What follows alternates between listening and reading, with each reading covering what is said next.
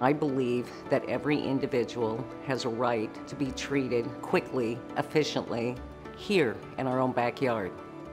After our grandson was born, the care was just so above and beyond what anyone could expect of a hospital. We walked down the hallway. Everyone knew we were new grandparents and they congratulated us. I don't think most hospitals do that. Tarzana Medical Center has been a community resource since 1973. Everyone at Providence Tarzana is passionate about providing the best possible care to help all those in need, regardless of their means. They were always really nice. They held my hand because I was very scared, but they made me feel a lot better. Well, they saved my life, and I'm very grateful. We've got a tremendous medical staff. They're very talented, they're good at what they do, and they deeply care for their patients.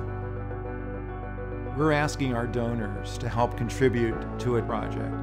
A complete campus redesign, renovation, expansion, and really a change in the way we deliver care.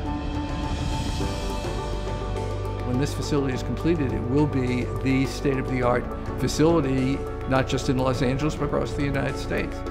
It's really important to have a building that matches the excellence and care that we received. It's being designed with the idea to say, what will healthcare look like, not in 2020, but 2030, 40, and beyond.